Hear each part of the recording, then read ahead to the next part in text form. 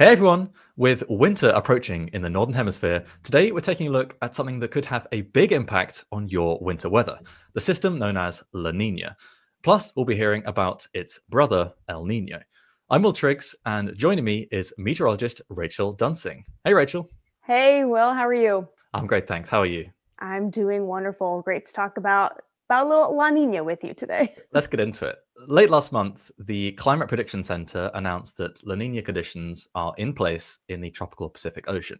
Mm-hmm. So, for starters, what are La Nina conditions? Yeah, so La Nina is exactly what you said. So we have cooler waters in the tropical Pacific Ocean. Um, that also means we have slightly stronger trade winds going east to west in that part of the ocean as well, which actually does a little bit more upwelling and bringing up more of those cooler waters, which in turn sort of uh, brings up more of those cooler conditions and kind of keeps La Nina in place. But La Nina is, as we mentioned, the cool phase of El Nino Southern Oscillation, otherwise known as ENSO. So it's both La Nina as well as El Nino. And sometimes we forget there's technically a third phase in here as well, which is neutral. It's neither La Nina or totally El Nino. It's sort of close to where we expect the long term average. But yes, the Climate Prediction Center basically said we have La Nina conditions in place. We expect them to run through pretty much the winter, and we know that that can have an impact on different kind of uh, winter weather, especially across North America, but across the world as well. Right. Okay. So running through February, we think, what does that mean for for winter weather? Yeah, so it really does depend a lot on your location. So a La Nina winter, especially for North America, means that our jet stream is a little bit more variable. So it can go a little bit farther north as well as a little bit farther south. Uh, but what happens is if you have that jet stream pull far to the north, underneath that jet stream, you typically have warmer temperatures as well as drier weather. So in North America, and particularly the western half of the United States, we expect that jet stream to pull a little bit farther north. So that means a little bit better chance of warmer and drier conditions for the winter. Now, that does not include Alaska or parts of Canada because they're going to be on the northern side of that jet stream. So they're more likely to be a little bit cooler. Um, and then across the southern half of the United States, we at least expect warmer, at least slightly warmer than average conditions and possibly a little bit drier weather as well. Um, again, it's all variable. It very much depends on your location. And this is just sort of the general trend for winter.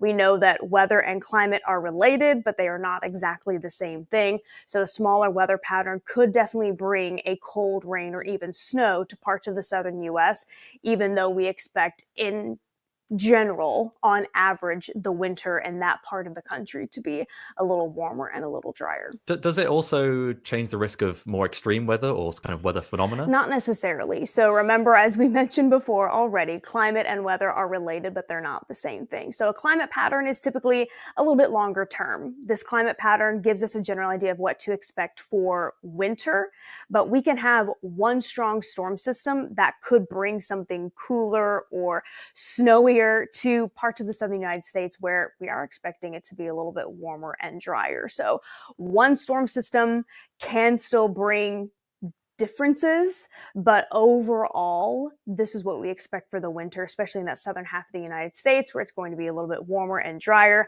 And then in the northern half of the United States, even getting into parts of southern Canada, expected to be just a little bit cooler and the weather a little more variable.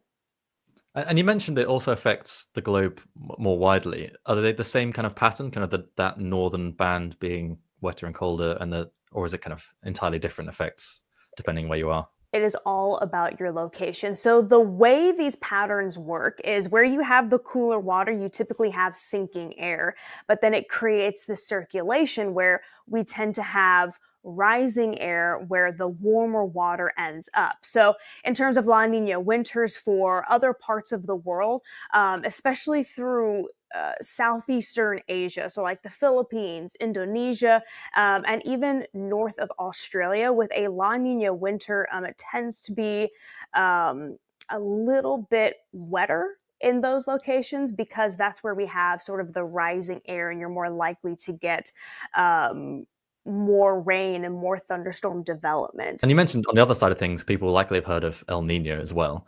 How does La Nina compare to El Nino, and, and what kind of weather does an El Nino winter bring? Yeah, so we typically think of La Nina and El Nino as being opposites of each other, and they are, but they're not exact opposites.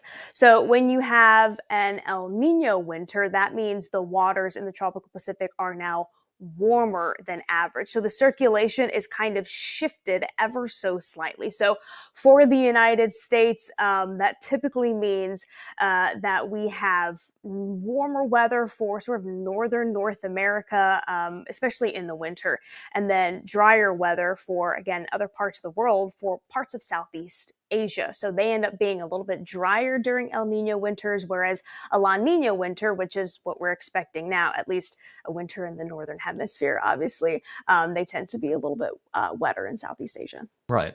And, and what actually causes these systems to start up? You know, are they predictable in the long term? Or? So they they are predictable. So it's kind of a seasonal pattern. So in general, they can sort of flip back and forth every three to seven years. Now the variability of strength also um, varies as well from year to year.